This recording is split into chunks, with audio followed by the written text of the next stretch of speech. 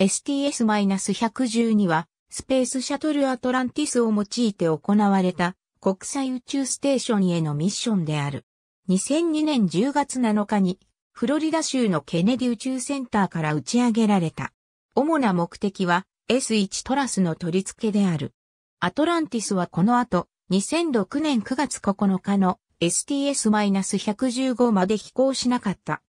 S1 トラスを運ぶアトランティス STS-112 のミッション後の ISS STS-112 は国際宇宙ステーションの組み立てミッションであり、ISS のラジエータを構造的に支持する S1 トラスの部品を運搬した。また船外活動カートが運ばれ、後のミッションのために取り付けられた。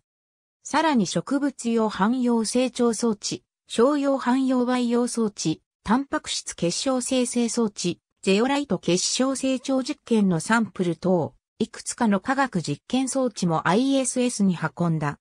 スペースシャトル外部燃料タンクに取り付けられたカメラによってアトランティスの軌道への上昇の様子が撮影された。このような映像が記録されたのは初めてのことだった。これは STS-107 で起きたコロンビア号空中分解事故に対応したもので STS-114、STS-121、STS-115、STS-116、STS-117、STS-118、STS-127、STS-128 でも用いられた。また今後すべてのスペースシャトルのミッションでも行われる予定である。ありがとうございます。